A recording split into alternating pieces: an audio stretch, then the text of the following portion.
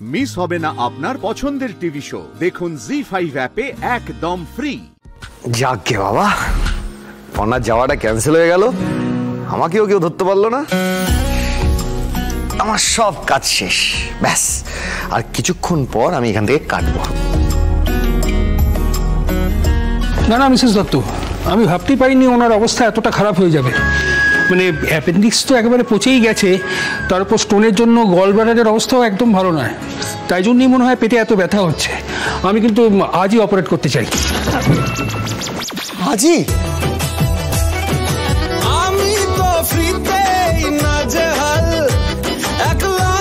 হ্যাঁ কন্ডিশন খুবই সিরিয়াস না না ডাক্তারবাবু আমি তো আমি তো এখন ঠিক হয়ে গেছি।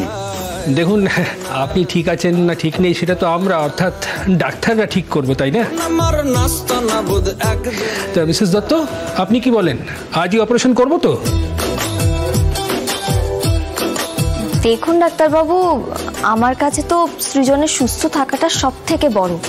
এবার আপনি যদি মনে করেন যে ওর শরীরের অবস্থা এতটাই খারাপ যে আজকেই অপারেশন করতে হবে। পড়েছি ভালোবাসায়। আর কে আমাকে পায়? তাহলে তো আজকেই করতে হবে। আজ আজকে না না আজ তো অনেক রাত হয়ে গেছে। আজ না আজ না। আরে মিস্টার দত্ত হসপিটালের আবার রাত কি আর দিন কি চব্বিশ ঘন্টায় অপারেশন হচ্ছে চব্বিশ ঘন্টায় পেশেন্ট আসছে। সৃজন তুমি এত ভয় পেও না গো। আমি কনসার্ন দিয়ে দিচ্ছি তবে হ্যাঁ আমি এখন এই কথাটা বাড়িতে কাউকে জানাচ্ছি না বুঝলে? বাড়ির সবাই খুব চিন্তায় পড়ে যাবে। সর্বনাশ।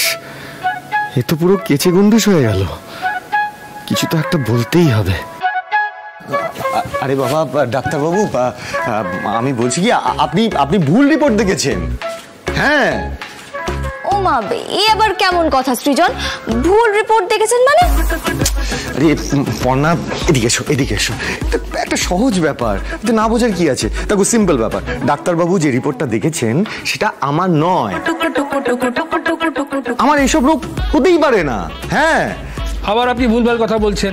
আমি তো বললাম আপনার কি রোগ আছে বা নেই সেটা আমরা আমরা ঠিক করব অন্য কেউ নয়। দেখুন আমি এক্ষুনি ওয়ার্ড বয় নার্সে ডাকছি ইমার্জেন্সি বেসিসে ওটি হবে?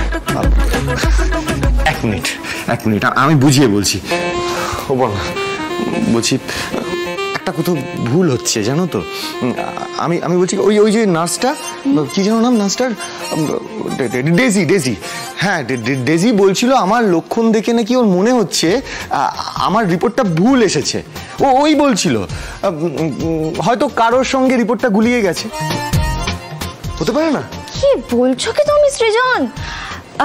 ডক্টর চক্রবর্তী? আপনাদের নার্সিংহোমে এসব আবার হয় নাকি? দেখুন এই বিষয়টা যদি সত্যি হয় তাহলে কিন্তু আমি খুব সিরিয়াসলি এটাকে টেক আপ করব। আমি কিন্তু রোজ খবরের সাংবাদিক। পর্ণা দত্ত চেনেন তো আমায়? হ্যাঁ চিনব না আবার।